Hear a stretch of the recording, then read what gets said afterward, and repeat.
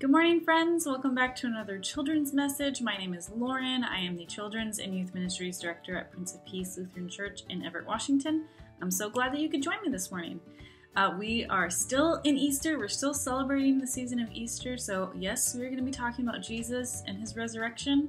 And we're going to talk about our friend, the disciple Thomas, today. So, get the kids, get a comfy seat, and hang out with me for the next few minutes, and we'll talk.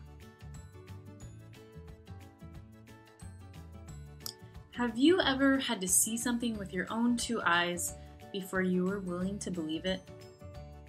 Maybe your mom comes in and tells you that there's a puppy at home waiting for you. You might have a hard time believing that's true until you actually get home and there's actually a puppy that you can see and touch and play with with your own eyes, hands, everything, right? The same is true for many of us. We often have to see something in order to believe in it or believe that it's true or that it actually happened. Our Bible lesson today is about just that. It's about believing what we can't see. On the evening of the first Sunday after Jesus was crucified, his disciples were all together in this locked room. They were afraid that those who had arrested and crucified Jesus would also come arrest them and put them to death as well, since they were his companions. Suddenly, Jesus appeared in this locked room amongst all of these disciples. It was really hard for them to believe because they had seen that he had died and was buried. But they did see him with their own eyes. And Jesus showed them the wounds in his hands and in his side. So they knew it was him. This was proof that this was Jesus resurrected from the dead. But one of the disciples, whose name was Thomas, wasn't there with the others when Jesus appeared to them. And when he got back with the group and they had told Thomas what they had seen, they had seen Jesus resurrected from the dead, he didn't believe them. He himself, with his own two eyes, had seen Jesus crucified and buried in a tomb. So, how could he be alive? How could he be in that locked room with them? And Thomas said, Unless I see the wound in his side and put my finger in the holes where the, in the where the nails were in his hands, I will not believe it.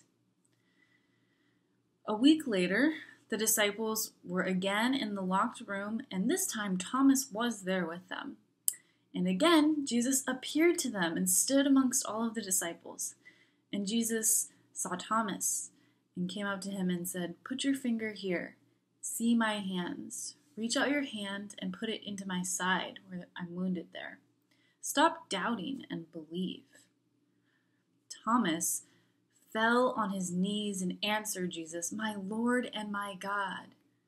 He saw him and he knew it was him, it was true, and he believed. Jesus said to him, Because you have seen me, you have believed. But blessed are those who have not seen and yet have believed. Now, Thomas gets a lot of hate sometimes for doubting. We call him Doubting Thomas sometimes.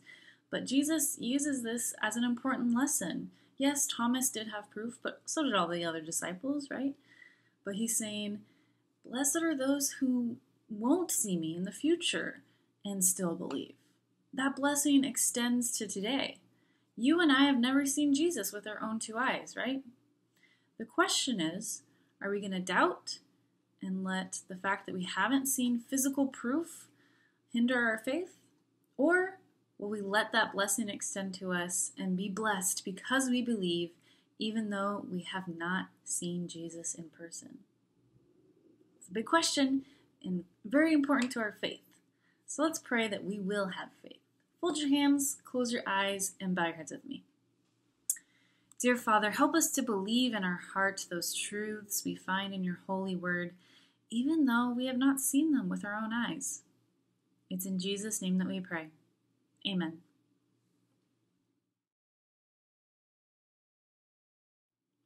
As usual, I've got a coloring page for you. So here's today's coloring page. There's Jesus and Thomas. Uh, Jesus showing the holes in his hands where the nails were, and Thomas on his knees because he's recognizing that this is Jesus, his Lord and his God. So you can find this uh, linked in the video description box below or where we post this video on our website, pplc.org.